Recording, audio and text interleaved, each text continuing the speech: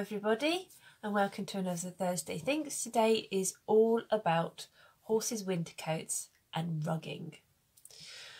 So, hello, those who haven't met me before, my name's Marianne, and I'm the founder of Naturally Wilor, which is a source of information to help you to heal your horse, mind, body, and soul naturally. So, I've got a little bit of a different setup today. I don't think you've noticed, or you might have done, um, just because my laptop has decided it can't find the Wi-Fi. So I'm going off my phone, so this should be fun. so obviously winter is now in full swing, and that means that my herd, for certain, have got a very fluffy coat.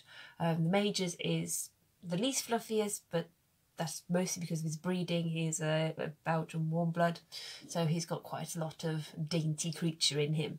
And obviously, dainty creatures don't particularly have the thickest coats sometimes. Sometimes. Whereas if you look at Little Spring, I'm calling her my little pom pom at the moment because she's such a fluff ball. You put your fingers in her fur and your hand just disappears. You're like, you kidding. so when it comes to winter coats, I know that some people clip them, and it is something that I considered in the past, especially when I first had the major, because he was my first my first boy, he was my first horse, and he was initially part of the riding school. He was on working livery, so he had to work for his supper effectively. So I didn't have to pay so much for him, you know, struggling person that I was, or still am. No. So he was on working livery, so he was being ridden several hours a day by other people. Um, so he was clipped for his own comfort. And when it came to me having him to myself, I clipped him because I thought that that was what you did. I thought that that is what was the most appropriate. You clipped them, then you rugged them. Whereas now I think about it, now that I've got the five that I have, and I've had older horses, I've had younger horses, I've had bigger horses, I've had skinny horses, uh, I've been through the majority of like options, shall we say. I don't think it's necessary. And I'll tell you why. So, your horse obviously creates its own coat.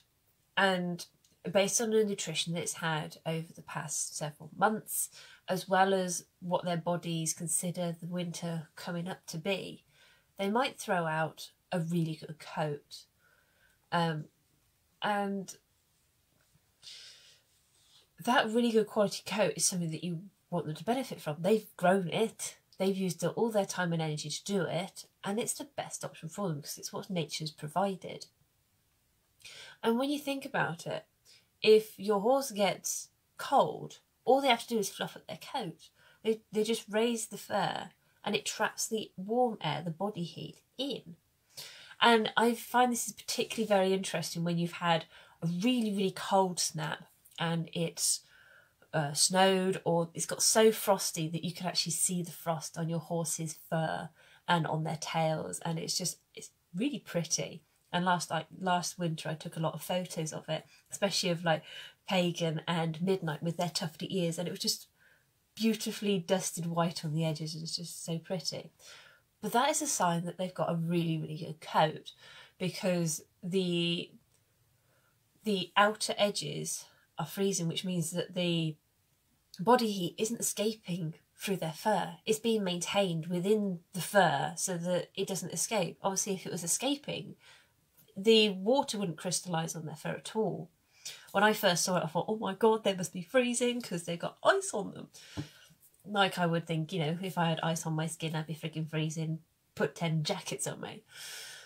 But no, no, I stupidly whacked a rug on and went, it's okay, you'll be warm in a minute. And then they got colder because the ice melted because the rug was holding in the heat and it was making the, the it just wasn't good.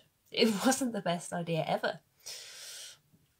So as my experience changed and developed, I realised that it was actually a good sign that they had frosted fur. And it made me think even more about why we clip and why we rug. Now, when I first had the major, I had a rug for him, and even when he had a decent coat and he wasn't clipped, I would still whack a rug on him because I thought, I'm cold. I'm cold, so he must be cold because he's out here all frigging night.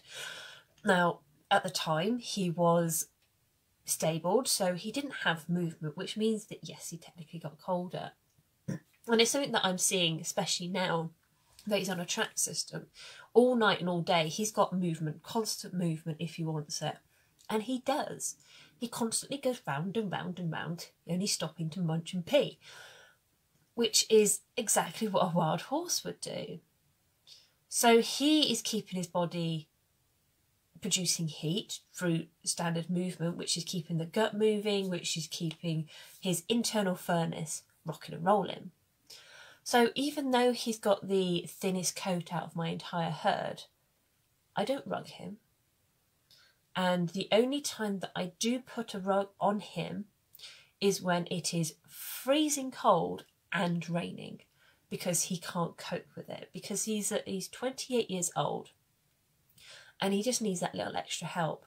But the number of times that's happened in the last what five years, probably about once every two years, and in saying that, he has the rug on for a single night, and then you can guarantee the next morning he is at the gate going, "Get this thing off me! Get it off! I don't want it." So it's really, really interesting because if I take, if I even show him his rug and he's not cold or he's not wet or you know the combination of both the the sweet spot where he needs it he's gone if i even try and walk up to him his head's throwing he's trying to imitate that he's going to bite you so you're like okay buddy i understand the only other time they'll accept a rug on is a waffle rug when it is really really pouring it down and they haven't he hasn't had a chance to dry out and it is windy, then I can put a waffle rug on him. And it's the same with the rest of the herd. When they come in and it is cold or blowy, and I know that they're going to get chilly, especially midnight. Um, I think I put the photo up. I think it was beginning of this year. I put a waffle rug on a. all of my herd have a waffle rug, and they, there's also blankets, as in old blankets that we don't use in the house anymore. And those are purely for when they get wet to help them dry out so that they can warm themselves up and dry themselves out even faster, if that makes sense. So, beginning of this year, Midnight came into the yard and I was like, something's wrong with you. I'm not sure what it is, but I'll keep an eye. She started eating and I realised that her muscles were twitching. Like, That's not right. And then I realised it was getting worse, and she was really starting to shiver and shake. I was like, okay, you're cold. It was absolutely peeing down with rain, and it was windy. And I thought, okay, I can see that you're cold. So all I did was take her waffle rug and just put it over her. I think I might have done the first strap up because it kept flapping open and I, she wasn't entirely happy with the flappiness. But I just did it up to the loosest that I could. She stayed, stayed there, had her hay net, by the time she'd had her hay net, she was asking me to take it off. She was poking at me, and I like, okay, girl. So I took it off. She dried out enough that she could finish drying herself out without feeling too cold. And that's all that they seem to need. That's my herd anyway. If you have your horses, you might have a different feeling or they might have a different preference, especially if you've got something like a thoroughbred who's a dainty creature who might need a bit of extra help. But even thoroughbreds can produce can produce a really, really good coat. So it's just about, for me, from my experience, good nutrition. Good nutrition and trusting your horse to be know it know what it needs to do. Trusting their body. Now I know from my herd that I've got, sometimes it does take a couple of years for their body to trust the good nutrition that they've got, to trust their healthiness that they're they're dealing with when I first had Spring, the first year that I had her, she whacked out a load of coat, a load, like she was gonna be really freaking freezing. And it's the same with Midnight. her first coat was so long, her first winter coat that I had with her was so long, so thick, and she was just boiling all the time. But even in those situations, I don't clip. Because I don't know Mother Nature. I don't know. I'm connected with Mother Nature. Green Witch, hello.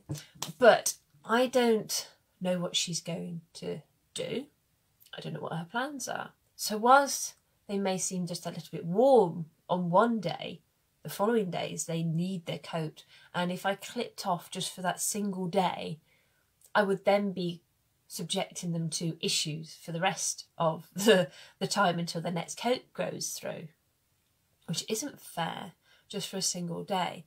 Now, I know that some people clip because they're the horses are in that much work, and if they're in that much work and they better, uh, benefit more from it, okay. But if you're just riding your horse on a hack or similar, why do it? Because then you're constantly walk- watching the weather, you're constantly poking at your horse, going, Are you warm enough? Are you cold? Are, are you too hot now? Or you're watching the weather going, It was sunny a minute ago, now it's peeing down. He's got the wrong rug on now.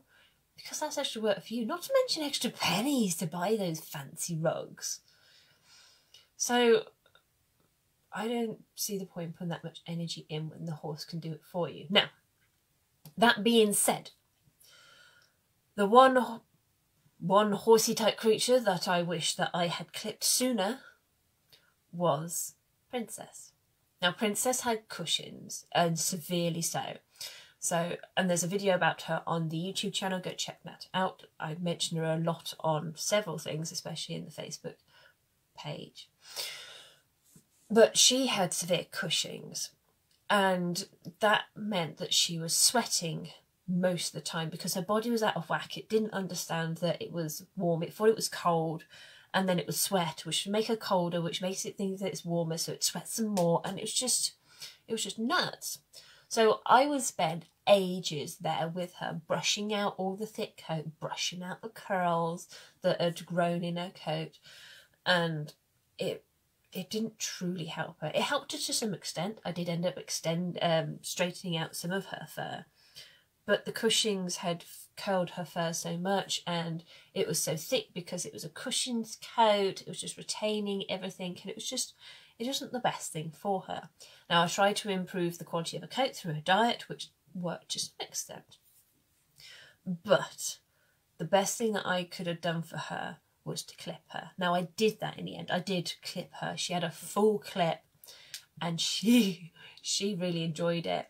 She was really enjoying the vibration of the clippers on her skin. She enjoyed the um the um, sponging down that I gave to her afterwards. And then she refused to have a rug on. I I initially put a rug on her, and if anybody else has a miniature Shetland, you know how hard it is to source a miniature Shetland rug. So it's not the easiest thing, miniature. I can see why people don't actually make miniature, not many brands make miniature Shetland rugs because it is so specialist not everybody does clip the miniature Shetland, sometimes they're just companions. But when it came to Princess, she really, really needed that clip for her health and for her hygiene and everything else. So it was for the best thing for her. So in those sort of medical situations, I can see why a full clip and then rugging is the best option. Now, she refused to wear her rug after a certain point, which I can understand when you've had a thick coat on that's retained everything and it's made you feel absolutely vile why would you want something else put on you? You finally got freedom on your skin. Let's just let it free. so in her situation, in medical situations like that, I can see why you would do that. But as I say, my herd isn't in full time work. I have two I have three youngsters which are still doing a lot of groundwork. I'm getting that really, really solid, getting that foundation in. And obviously Egypt is having these lung issues at the moment or recovering from those. So it's not the best option to do extensive amount of work with them. And my older two are, they just get to love life. So I don't do that amount of work to make it the best option for them. But I don't know what I would do in a situation where they were doing that much work. And for me, they'd have to be doing an extensive amount of work for it to be a viable option for me. Just as I said, because clipping can be a little bit of a drama when especially when a horse hasn't gotten used to it doesn't know what it is. And then there's the whole drama of the rugging you know i'm very very lucky in that my horses are just outside my window. But i will get so in my head in the middle of the night going has he got the right rug on? Has she got the right rug on? Well she don't like it. Well she's taking it off. What if they've wrecked it? I've spent all that money on those frigging rugs and they've just broken it. And that's what happens sometimes and then there's the whole situation of they don't want it sometimes. They don't like it sometimes, especially the major. Now that he's got the ability to voice an opinion, he does voice it. Now, I don't know if I fully clicked him out, whether he'll go, yep, whack it on me, let's do this, or what. I don't know. We would have to see. But he's never going to be in that much work to to warrant it. So swings and roundabouts, swings and roundabouts. So let me just check what's going on over here. Nobody with me? Hello, brother mine. um. So yes, my horses have a very th thick coat because they are higher because they are well well nourished so that they produce those thick coats and I trust their bodies to do what they need to do. If you do something differently, that's good for you. This is what works best for me. So I hope that's given you a little bit of insight into what I do and why. If you're giving giving you some food for thought, then great. If not, cool too. So I think that's it for me today. I'll catch you all again next week for my next Thursday Thinks. I'll let you know what the topic is as soon as I think of it. and um, publish the event on the Facebook page and share it onto my own Facebook page.